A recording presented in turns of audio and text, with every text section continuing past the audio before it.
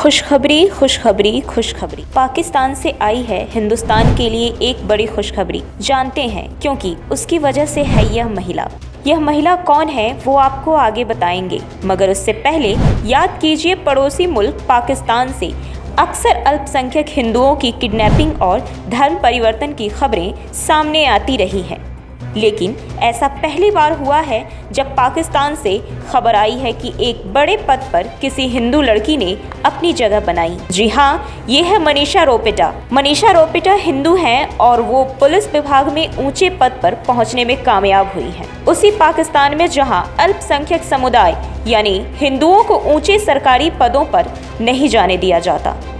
लेकिन साल 1947 में पाकिस्तान बनने के बाद अब जाकर ऐसा मौका आया है, जब कोई हिंदू लड़की पाकिस्तान के किसी प्रांत में पुलिस महकमे में ऊँचे ओहदे पर पहुँची है। मनीषा रोपेटा की उम्र 27 साल है और वह मेरा नाम मनीषा रोपेटा है। मैं पाकिस्तान की पहली फीमेल हिंदू डीएसपी हूँ। मैं बेसिकली सिंध के छोटे से शहर जेकबाबाद से बिलोंग करती हूँ। मेरी प्राइमरी एजुकेशन सेकेंडरी एजुकेशन दोनों जेकबाबाद से हैं। तो वहाँ पे गर्ल्स एजुकेशन का इतना कोई रुझान नहीं था। और मेरा मानना ये है कि जिस माशरे में सबसे ज़्यादा विक्टम्स औरतें हों तो आपका प्रोटेक्टर भी एक औरत ही होनी चाहिए। सो हमें बहुत ज़्यादा ज़रूरत है कि हमारे पास प्रोटेक्टर्स विमेन हो।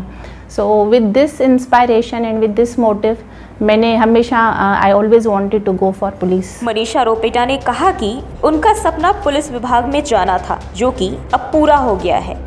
अपनी तरफ़ से वह पूरी कोशिश करेंगी, पुलिस विभाग को अपना बेस्ट दे सकें।